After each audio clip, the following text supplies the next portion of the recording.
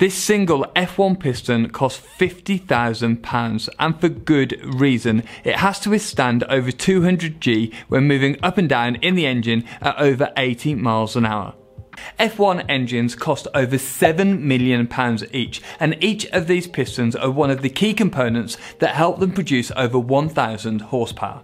But why does it cost 1,000 times more than the piston out of your road car? It turns out there are many very good reasons for insane costs. If you're into F1, then you'll know that you can't start an F1 engine like you can with a normal road car. The incredible tolerances mean the pistons are seized in the cylinders until the car is warmed up, so the engineers have to take at least 30 minutes to warm the coolant and the oil before they can start the engine. So how come you don't need to do this in your road car? As we know, engines create power by burning fuel and oxygen in the cylinders. This action releases a lot of heat and causes the gas in the cylinder to rapidly expand. The piston is forced downwards, pushing the conrod which turns the crank and ultimately powers your car. To allow the pistons to move, you need a gap between them and the cylinder. However, if that gap is too big, it would allow a lot of gas to slip past the edges, resulting in a loss of pressure and much less power. So pistons have rings that sit in these grooves. They seal the gap between the piston and the cylinder and maintain the pressure needed to create so much power. They also ensure that minimal oil from the underside of the piston can get into the combustion chamber and be burnt away. If it's too big, you produce less power. The engine will wear very fast and can have a whole range of problems. If it's too small, the engine can seize. So this is where the engine designers come in. They specify the size of the gap and then set the tolerances on all of these parts.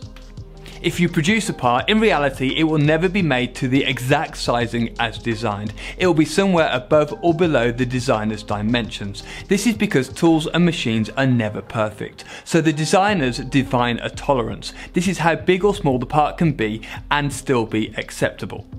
So let's say this piston is 40 millimeters tall, but may have a tolerance of plus or minus 0.1 of a millimeter, meaning that if it's above 40.1 mil or below 39.9 mil, it can't be used. The same goes for every other dimension of this part, as it will interact with loads of other parts. If it were even slightly too big or small, it could cause serious issues. This is especially important in something like a piston. The gap between the piston and the cylinder in an F1 engine is as little as 0.15 millimeters, so the gap is only slightly wider than the width of a human hair. The tolerances on the diameter of this piston and the cylinder will be as little as 0.01 of a millimeter. This means the engineers can be sure these parts will fit perfectly together and work correctly every time. However, there is more to it than that. Things expand when they get hot, so all of this will change when the engine gets up to temperature. And due to the various different materials and the varying sizes of the components, they all expand at different rates. In a normal road car, it needs to be able to start from a wide range of temperatures, so the engineers design in a large clearance between the piston and the cylinders. This means that the pistons can work effectively from cold and when at normal operating temperatures. But an F1 engine is all about maximum power and efficiency, so the designers use a much smaller clearance. They design the components so that there is a perfect gap only when running at normal temperatures. This is why the engine block seizes when it's cold. The cylinder block expands more than the cylinders and they free up when the engine is warmed. Hence explaining why the teams pump in warm coolant and oil for about 30 minutes before the starter is used to fire up the engines.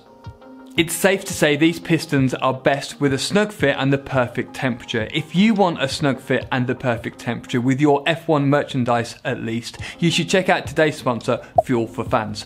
They make officially licensed kit for the majority of the F1 teams on the grid. Stuff like t-shirts, caps and jackets. They also have kit from your favourite drivers like Lando and this Max Verstappen top. Now is the perfect time to pick up some of their gear for yourself or for someone else as a gift. They have released a whole range of affordable gift ideas for those who love F1 as much as us.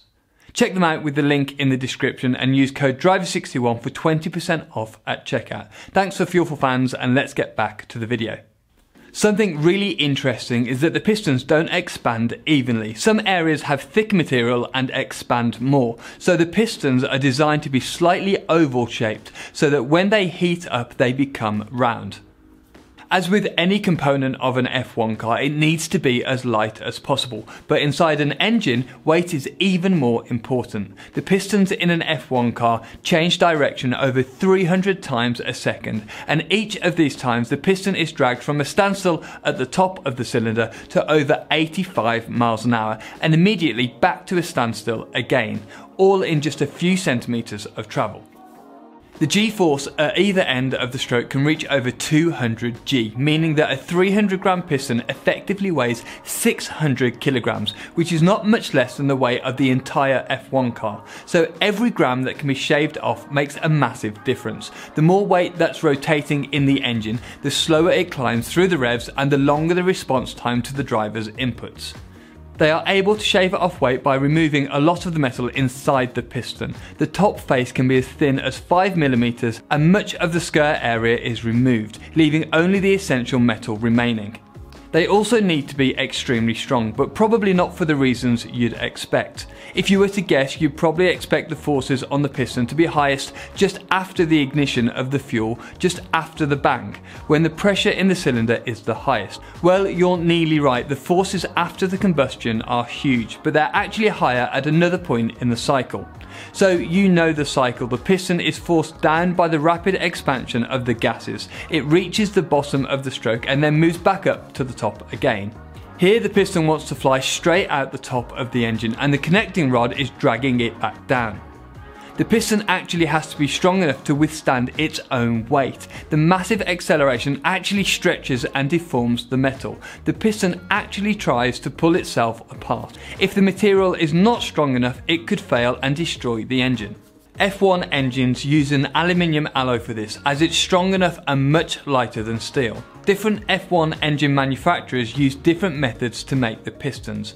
Some machine them directly from a billet of aluminium and some forge it first. Forging is where they get a billet of aluminium, heat it up and pound it into shape at unbelievable pressures. The pistons are forged slightly oversized and then machined down to exact dimensions. Forged pistons can be stronger than billet pistons, but can be trickier to create accurate parts and can weigh more.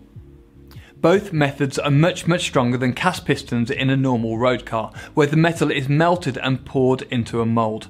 However, casting is much cheaper. This is why you can get a replacement piston for your road car for as little as £50. So not to forget, each piston has thousands of dollars of materials used, tens of hours of machining and forging time already put into them. The pistons, along with other engine components, are then measured by a CMM machine. These measure the parts to within 100 nanometers. This is about 1,000 times thinner than the width of a human hair. Then, if one of the hundreds of measurements is higher or lower than needed, it's melted down and started again. The component manufacturers will also x-ray the piston to check for cracks and other imperfections. All of this ensures that all of the pistons produced reach the high quality standards necessary and work effectively at 15,000 RPM. These factors are why they cost so much. The time of the genius engineers, days of skilled machinists' time, specialist equipment and extremely expensive materials. A huge amount goes into creating each of the components in an engine that can create over 1000 horsepower. Road car pistons can be made of cheaper materials and use faster processes, meaning they can make them 1000 times cheaper than F1 teams can. If you enjoyed this, check out this other video, which I think you'll love. Click here and I'll see you in the next one. If you've watched a couple of our videos, why not subscribe to Driver61 and help support the channel. Cheers and I'll see you next time.